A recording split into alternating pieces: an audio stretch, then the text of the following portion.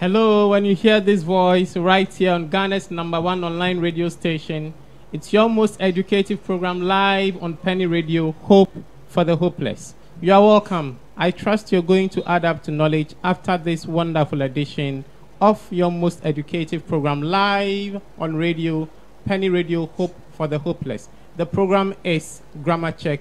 Just check that grammar. Once again, as your regular host, I'm here with my regular co host, Winifred Wilson. and I am Victor Yekple. So, first on our list is our first segment, that's the grammatical expressions. And for today's grammatical expressions, Winifred, can you help us? Okay, so the very first one we have thick tall And the second one is, as at and then the last one, open. That's open your books okay. to To that effect, all of them are phrases because Yeah. they're more than one word. one word. Good. So, Winifred, as usual of us, let's put them into sentences for better comprehension. So, I'm going to give the first sentence. If I'm wrong, you alert me. If I'm right, to you call my attention to it. So, Winifred, this is my example. My father is handsome, comma, thick, tall, full stop. Am I right or wrong? Oh, you're wrong. What should we know? Okay, so with the same example, it should be my father is handsome, Okay. comma, and well built. Wow. Yeah, you can use that one, or you can also use my father is handsome, comma, stout and tall Interesting. instead of thick tall. Well, is there any reason, or are there any reasons? Okay, so someone who is stout hmm is rather fat. Interesting.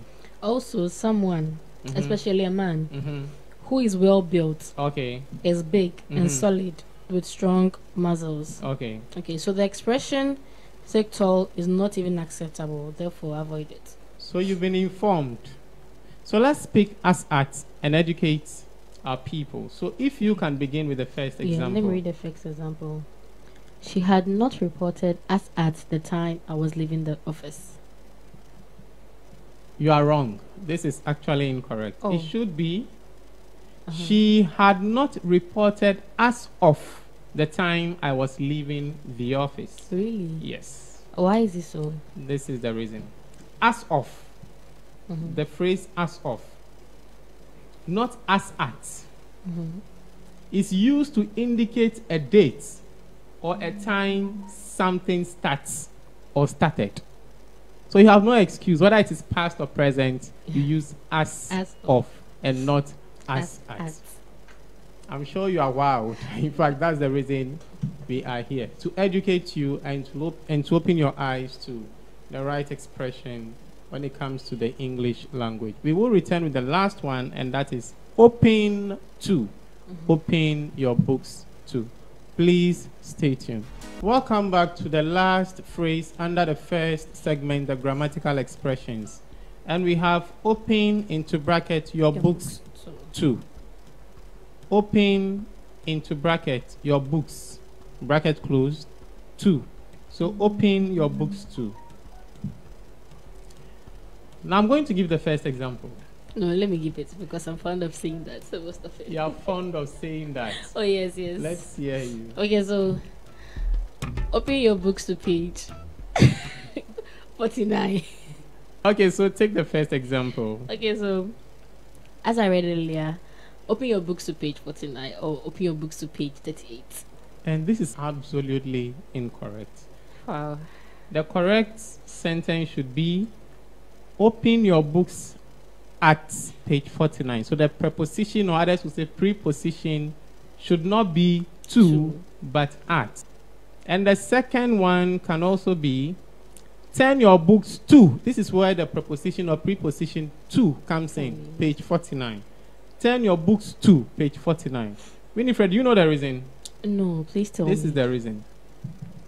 When you use open, as in a book or anything, use the preposition or preposition at. But when you use turn, as in a book or anything, use the preposition or preposition to. So we open books at page 49 and We turn to page 49. I'm sure you're smiling now. Well, this is where we bring an end to the first segment. We will return with the second segment, that is the error buster. We will be back to blow your mind again as to the correct pronunciations of English words. Please stay tuned. So, welcome back, ladies and gentlemen, men and women, boys and girls, to your most educative program live on radio, Ghana's number one online radio, Penny Radio, Hope for the Hopeless. We are here live on Grammar Check, and we are here to give you nothing but the best. Now, back to our second segment, and we have the error buster. The error buster. And for today's error buster, we have We have P R E L U D E. Let's take that together. P R E L U D E. Most often, people pronounce the word as what? Prelude. But the word is prelude. Prelude. Not prelude, but prelude. And prelude is something that begins another thing. Something that begins another thing.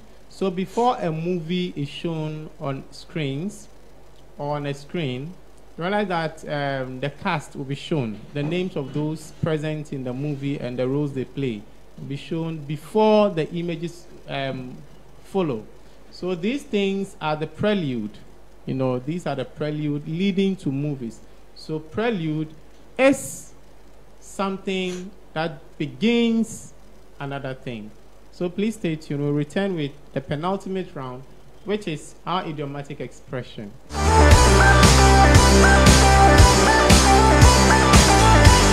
You live on Penny Radio, your number one online Christian radio station.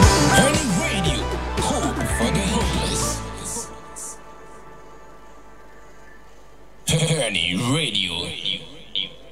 If you are also in need of all the episodes of Grammar Check, kindly subscribe to my personal YouTube page, Yekple Victor, and you would have all the episodes concurrently also on Penny GH. We are back with a third segment, and we have our idiomatic expression. Our idiomatic expression. And Winifred is going to help us with that particular segment. So, what do we have for our idiomatic expression today, Winifred? To take the bull by the horns. Which means To tackle the, the difficulty. difficulty with, Bravery. with bravery. So, to tackle the difficulty with bravery, Bravery. is to take the bull by, By the horns. So I have an example here I would like to read. Okay.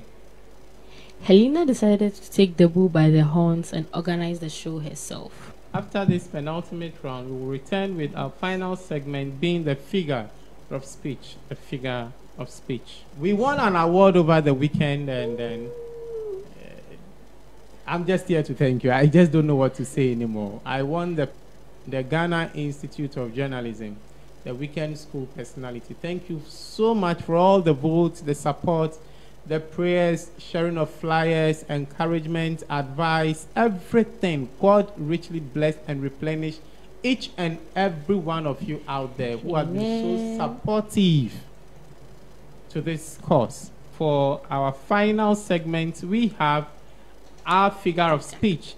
And for today's figure of speech, we have didactic. Didactic. Didactic. Didactic spelled. D I D A C T I C. Let's take that together. Didac- didactic, Didactic. spelled D I D A C T I C. Let's take that together. Didactic, Didactic. spelled D-I-D-A-C-T-I-C. Now, when we say something is didactic, it means the thing is intended to teach or Instruct. instruct. Watch movies that give you lessons. Or if you watch a movie that gives you lessons or a lesson, then we say that movie is what? Didactic in nature. Yes. If you experience a situation that leaves you with a lesson to learn, then we are referring to that situation as being a didactic, Didactic. situation. Thank you so much for joining us. Until we come your way next week, God willing, I am yours truly, Victor Yekple, and Winifred Wilson. Goodbye.